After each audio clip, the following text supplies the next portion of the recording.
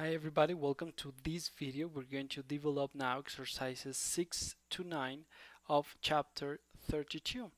Remember, this is a book of Gregory Mankiw, Principles of Economics, and this chapter is called A Macroeconomic Theory of the Open Economy. Six question says, A senator renounces his past support for protectionism. The U.S. trade deficit must be reduced but import quotas only annoy our trading partners. If we subsidize US exports instead, we can reduce the deficit by increasing our competitiveness. Using a three-panel diagram show the effect of an export subsidy on net exports and the real exchange rate. Do you agree with this senator? Well, First, we start with the first market. Remember, the, the first market that we have in the top left is called the market for loanable funds. We have in the supply all the savers, and we have in the demand all the investment plus the net capital. Um, here we have the, the net capital outflow. So here we have these two these two uh, variables. Then with this we fix the real interest rate, and with this real interest rate we fix our, our net capital flow because the real interest rate is like the price of the money. It's like basically when you have a higher interest rate, you incentive to foreign capitals to come to our country. In this case, well, the US, because we are talking about now the US. So then here we have the real interest rate, and then with this one we found the uh, the net capital outflow which should be the supply of dollars and then we have the demand for this. When we have basically more exports provided by the subsidy for the exports we have a shift to the left for the demand for dollars okay then we have a higher uh, demand for dollars because more people need to buy dollars in order to pay us our trade. So then for this reason we have more demand for US dollars. But at the same time we experience an appreciation of the exchange rate.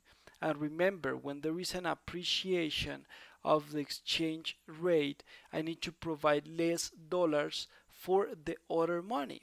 So for this case, we have an incentive to import. So then this change in the next net exports of an increase of exports is compensated by an increase in the imports. So net uh, export remain exactly the same.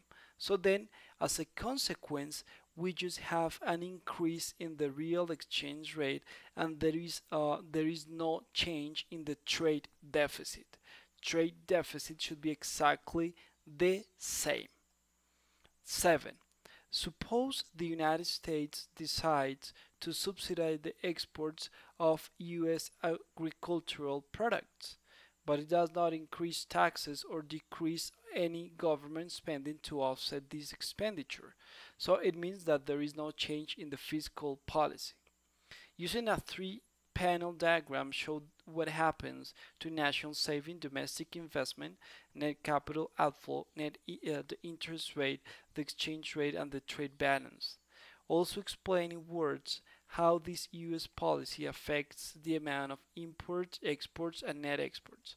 Well, here we have the top left, we have the real interest rate and the quantity of loanable funds. Here is the market for loanable funds, which determines the real interest rate, which is going to determine, as a consequence, the net capital flow. And then here, net capital outflow. And then here we have, well, when there is a and outflow and then here we have the net capital flow and then we have the real inter the real exchange rate and the quantity of dollars. Well actually it's pretty much similar as, as the previous exercise. We have with this an increase uh, in the demand. So then as a consequence we have like more uh, more exports but then because well this is provided then we have as a consequence a more demand for US dollars then there is an appreciation of the exchange rate so there is um, a consequence of more imports so then it's like pretty much the similar of the previous one so we have like increase in the imports uh, increase in the exports and net exports should remain the same. 8. Suppose that real interest rates increase across Europe. Explain how this development will affect US net capital outflow. Then explain how it will affect the US net exports by using a formula uh, from the chapter and by drawing a diagram. What will happen to the US real interest rate and real exchange rate? So then, here we have uh, again the market for loanable funds, here we have the net capital flow, and here we have the real exchange rate. So then, as a consequence of the of increase of the real interest rate, what we call this is a capital flight. So then, as a capital flight, we have an increase of the net capital outflow. So it means that more money that is uh, now in the United States in domestic assets, they will find better yields, better better returns. So then it should be a capital flight. So then because uh, this case there is a higher demand for foreign capital so then we have a supply of dollars um, increased because we have more dollars available instead because we are exchanging for uh, foreign uh, assets so then we are going to see why exports are cheaper first movement uh, shift to the right to the demand of the market for loanable funds. As a consequence, the, the net capital outflow should be higher because more people will acquire, will purchase foreign assets. So then for a higher uh, real interest rate, we have a higher uh, net capital flow so then here should be the supply of in the real exchange rate in the in the market for uh, the, um, the the currency or, or exchange rate we have here as shift to the re to the right. So then as a consequence we have here uh, a depreciation of the currency. When we have depreciation of the currency, the exports are cheaper then we can export more and we are going to be more competitive in the market in the market outside. So then here is what we have the in the in the equation. S is equal i plus net capital outflow and here this part will be higher so there will be an increase of the demand. 9 suppose that americans decide to increase their saving. A if the elasticity of, uh, of the US net capital outflow with respect to the real exchange rate is very high, will this increase in private saving have a large or a small effect on US domestic investment? B. If the elasticity of the US exports with respect to the real exchange rate is very low, will this increase in private saving have a large or small effect on the real exchange rate? Let's have a look here. As usual, we have the three panes and then the important thing, which curve is going to move? So stop the video and think a little bit. Which is going to move? The market for loanable funds or the initial change should be the net capital flow or the real or the exchange rate should be the change. Let's have a look here. So then after you analyze verify if that was okay.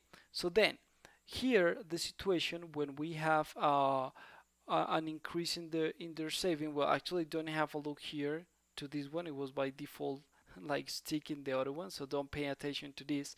Let's have a look here. We have a supply an increase in the supply of the market for loanable funds because the supply of market loanable funds is provided by savers. So then we have here an increase of this saving. So then as a consequence the supply shift to the right. When we have an increase in the in the um, in the saving then we are going to have here a lower interest rate because this is the price of the money so then we have a, de a, decrease of the of the real interest rate and as a consequence we have here an increase of the net capital flow. Why? Because basically when we have a lower interest rate, maybe other uh, other capitals will find better yields, better returns.